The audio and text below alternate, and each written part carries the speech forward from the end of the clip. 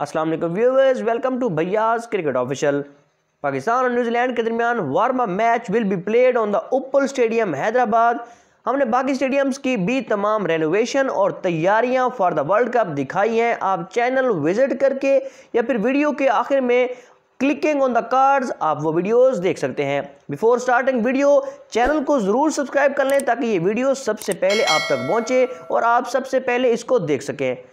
Viewers, Pakistan और New Zealand के दरमियान वार्म मैच 29 सितंबर को राजीव गांधी या फिर उपल स्टेडियम हैदराबाद में खेला जाएगा।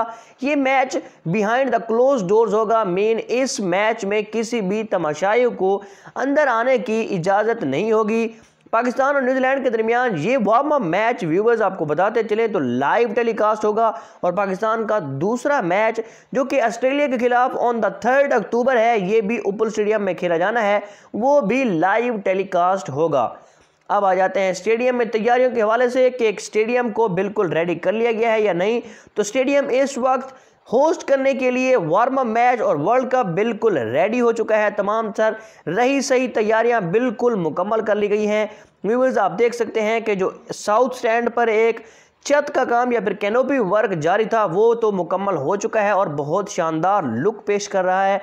बाकी तमाम तर चीज़ें स्टेडियम में जो आईसीसी वर्ल्ड कप के लिए स्पेशल बैनर्स होते हैं होर्डिंग्स होती हैं डिजिटल बाउंड्रीज होती हैं या फिर ब्रॉडकास्टर्स का सामान होता है, वो भी इंस्टॉल कर दिया गया है। स्टेडियम में तमाम तर सफ़ाई सुथराई चेयर्स की इरेक्शन और चेयर्स को बेटर बनाना, तमाम तर सहूलियात जो वर्ल्ड कप में स्पेशल नज़र आती हैं, वो मुकम्मल कर ली गई हैं। इसके अलावा जो वर्ल्ड कप में ब्रॉडकास्टिंग के लिए आपको स्कोर बोर्ड या फिर कलर्स नज़र आएँगे ऑन द टेलीविज़न वो भी आप देख सकते हैं कि कुछ इस तरह के आपको ब्रॉडकास्टिंग नज़र आएगी जो कि फुल एचडी होगी।